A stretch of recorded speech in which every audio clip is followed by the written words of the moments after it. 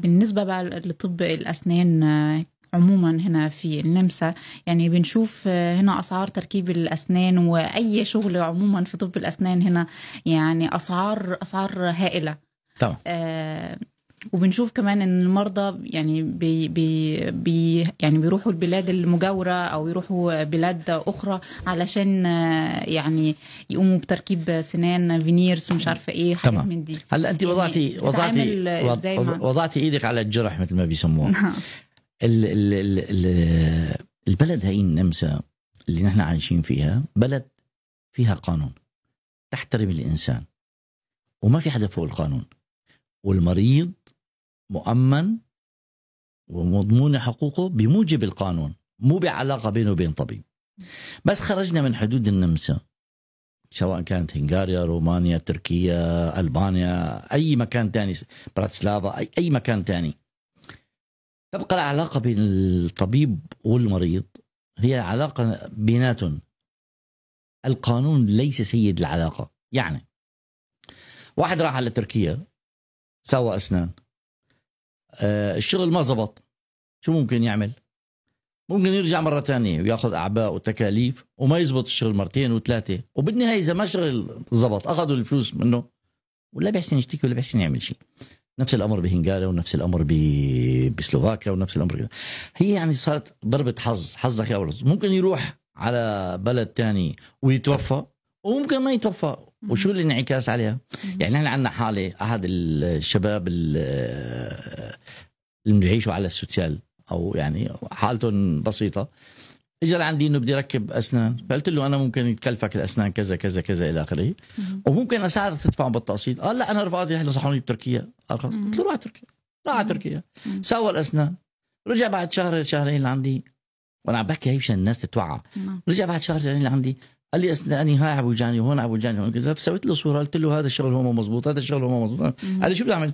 قلت له بترجع على تركيا لعند الدكتور اللي سوى لك لأنه أخذ منك فلوس. ما حدا رح يشتغل بداله هو يأخذ فلوس أنا أشتغل لك ببلاش. روح لعنده.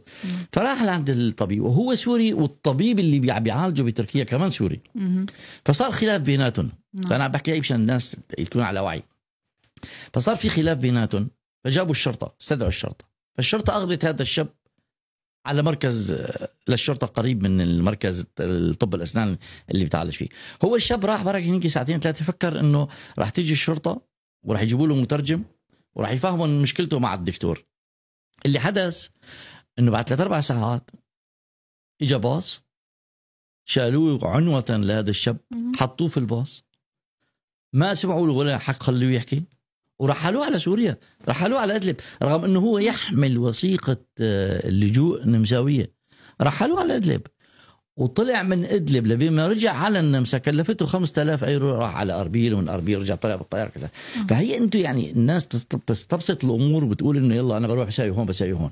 عندي طب عندي مريضة ثانية أنا بدي أحكي هذا الكلام عشان الناس تتوعى. عندي مريضة ثانية بدها تساوي عملية عين يعني بعيد عن اختصاصنا. عملية ليزر لعيونها. نعم. فأجت قالت لي إنه أنا بتنصحني بطبيب هون بالنمسا قلت لها روحي عند دكتور زميلنا جمال عتمني عنده مركز ليزر وهون بالحي 18 ومعروف وكذا.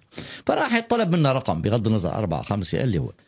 فحدا من زملائها بالكورس أو ما بعرف وين قالوا لها روحي على براسلافا براسلافا أرخص. فراحت على براسلافا جوز بنص المبلغ. نعم. من حسن حظها هي المريضة إنه سووا لها عملية بعين وحدة.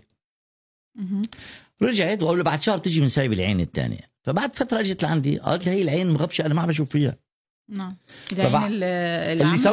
عملت فيها العملية. فأنا لأنه. لأنه الشغلة akute ومسرعة اتصلت بأحد زملائنا أطباء العيون اللي بشارعي هو نفسه بنفس الشارع اللي أنا فيه بالحي الرابع اللي Wiedner Hauptstraße اسمه الدكتور آه، أحمد عبادي. فقلت له يا أحمد هي المرأة يعني حالتها أكوتة وبتمنى يعني رغم الزحمة والازدحام بكل العيادات العربية تشوفها لهي المرأة إنه أنا أعتقد إنه هي مسوي عملية والعملية شيء ما هو مزبوط. نعم. فراحت لعند ال- الدكتور وشاف ال- العين. قال لي هي العين صفر. مم. فقدت عينها. يعني راحت يعني الإنسان ما بوفر صحته. راحت توفر على حالها ألف أو ألفين ببراسلافا فقدت عينها. هذا الموضوع لو تم بالنمسا لو حدث هذا الأمر في النمسا التأمين الصحي أو القانون في البلد هي أكيد بيعوضها مليون يورو أقل ما يمكن. على هالإصابة اللي صارت لها بس ببراسلافا مين بدها تحكي؟ نعم. راح حقها. وحدة ثانية راحت تسوي عملية آه، قص معدة أو تاني معدة أو تقصير معدة أو تغيير أنبوب بتركيا. نعم. ما رجعت. يعني مم. مع إنه عندها أطفال و... راحت سوت العملية وتوفت في العملية. نعم. دفنوها هنيك وانتهت. يعني نحن هون ال- بدي أشرح له لل... لل... لل... للأخ المشاهد اللي عم يسمعني من أبناء الجالية العربية.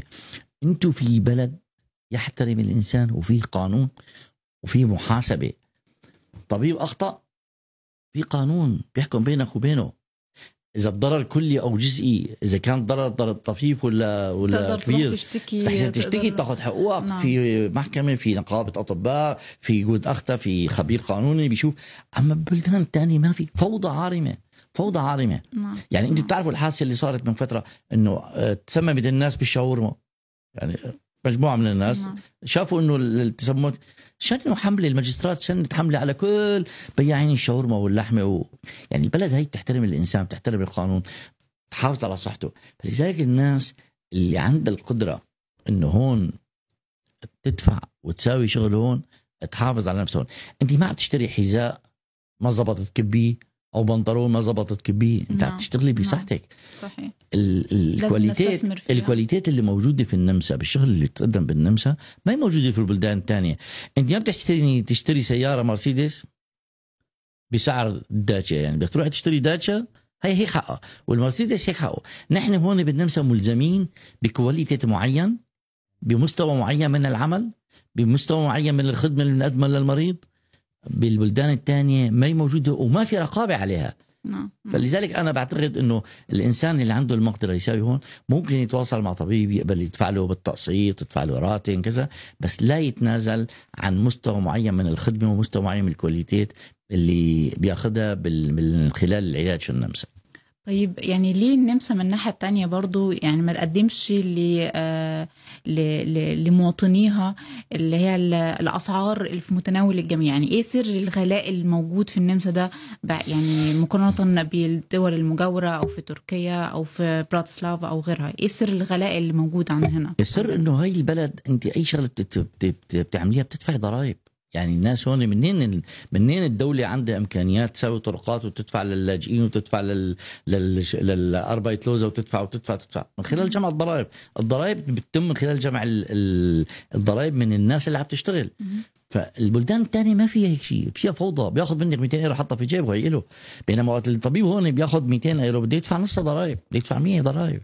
هي هل واحدة ده تانية مبرر ال Qualität يعني؟ هل ده برضو مبرر لا لا مو مبرر. بس أنا. اسمح لي الثاني شيء ال Qualität. يعني نحن مثلا بشغلنا بنركب آه، فرضا تلبيسات آه، Zirkon. تمام؟ نحن ما بنحسن نستعمل Zirkon صيني. ولا بنحسن نستعمل Zirkon آه، تركي أو Zirkon من ت- من بنغلاديش. ما بنحسن يعني لأنه ال Zirkon اذا ما له مستوى معين من الأمان. تحطيه بتم المريض. نعم ويكون- هو إيه إيه المادة دي Zirkon مثلا. اللي اللي إيه بالظبط؟ اللي هي بت- تبع التاج تبع التلبيس. نعم. يعني التلبيسات اللي بنسويها التعويضات السنية. نعم نعم. فإذا أنت ما ما أخذتي نوعية معينة يعني بالأساس هو ما مسموح تستخدمي نعم. أي نوعية. يعني أي شيء بال بال بال بال- بعملنا نحن وبعياداتنا لازم يكون مكتوب عليه مسموح استخدامه في الاتحاد الأوروبي. في شيء اسمه CE geeignet نعم. بالاتحاد الأوروبي إنه هذا مسموح استخدامه بالاتحاد الأوروبي سواء هي مادة سواء هي كاسة سواء هي محرمة. فهي كلها لها لها مواصفات معينة ما وإلى عندنا تكلفة سلوفاكيا- يعني من الدول ما في رقابة. سلوفاكيا وهنغاريا ورومانيا للأسف صحيح ان دول في الاتحاد الأوروبي. مم. ولكن الكوربسيون عالي جدا في هالبلدان مم. وما في رقابة. ما عندنا الإمكانيات. ما هي دول آه، وصلت لمرحله يعني نحن بدنا نقول إنه النموذج الصحيح في الاتحاد الأوروبي يبدأ من النمسا. النمسا وألمانيا والسويد وغيرها. آه، أنا باعتقادي إنه النمسا هي بلد آه، آه، يعني أسعاره مناسبة ما هي غالية كثير ولا هي رخيصة. ممكن التعايش معها. ممكن نعم، التعايش نعم. معها. أعتقد ال- ال- المواطنين عندهم يعني كلام آخر يعني هي أنا شوفي أنا بعرف أنا مرضى كثير بيجوا لعندي بيراجعوني. في ناس بتروح على ألبانيا وفي ناس بتروح على رومانيا وفي ناس بتروح على تركيا. في, في ناس بتروح على هنغاريا. في بعض الأحيان هذا يعني مثل اللي عم بيضرب بطاقة النصيب بعض الأحيان آه، بيتوفق الشخص. بيلاقي طبيب كويس وبيسوي له شغل منيح. وبعض الأحيان للأسف لا ممكن يرجع لعنا وكل الفلوس اللي دفعها يخسرها. ونرجع نعيد الشغل من جديد. من نعم. أول جديد. وهي أعباء مادية ونفسية للمريض تعب.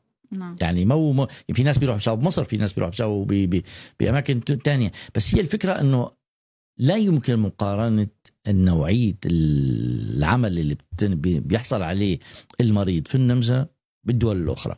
نعم. لا.